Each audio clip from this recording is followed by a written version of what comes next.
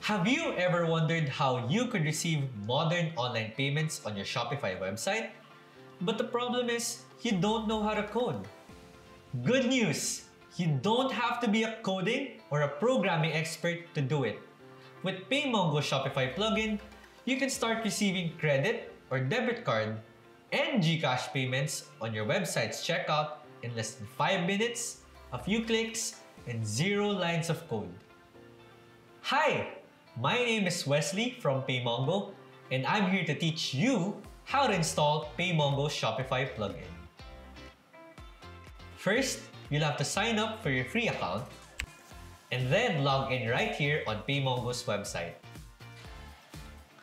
This is your dashboard, which gives you an overview of all the payments you process through PayMongo. Move your cursor towards the left side of the screen and click on the Developers tab.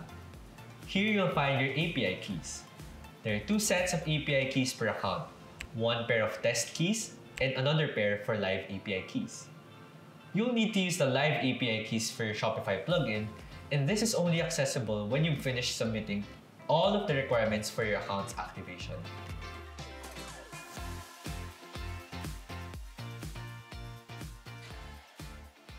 Imagine API keys to be like actual keys used to access different locked rooms. PayMongo gave your own private room to process your online business transactions. Now, you're given special keys to make sure that you're the only one who can access your room. This is important to facilitate secure transactions for the money flowing into your business. Now, you'll need to give Shopify a duplicate of your keys so that they too can directly access your special PayMongo room and inform them about the transactions flowing from your website. Don't worry if that still doesn't make sense to you. You'll just have to follow me step by step in this video and you'll be able to install it in no time. For activating your PayMongo account, you may refer to the link in the description below for a separate tutorial video.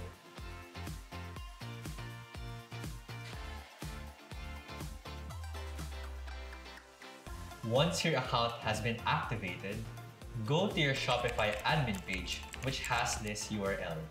Next, click Settings at the lower left side of the screen. When this appears, click Payment Providers. For credit and debit cards, choose PayMongo within third-party payment providers. For GCash, choose PayMongo within alternative payment providers. Let's start with credit cards. For you to fill in the account information, you will have to copy and paste the API keys from your dashboard earlier. Go back to your previous tab. Make sure to toggle viewing live data over here. You know you've done that when your API keys start with pk underscore live and sk underscore live. Copy the public key and secret key to their corresponding boxes under account information.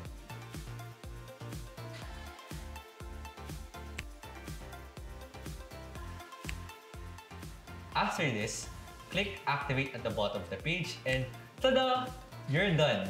You can now start receiving credit and debit card payments on your Shopify website using PayMongo.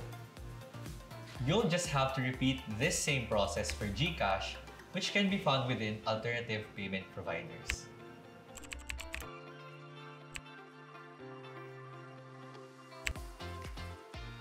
When you're done with the installation, this is what your customers will see when they check out from your Shopify website. Let's summarize. The PayMongo Shopify plugin will enable you to accept credit and debit card payments and GCash payments on your Shopify website and give you access to the PayMongo dashboard to manage all payments coming in. All these with a few clicks and zero lines of code. Thanks for listening. This is the PayMongo Shopify plugin tutorial.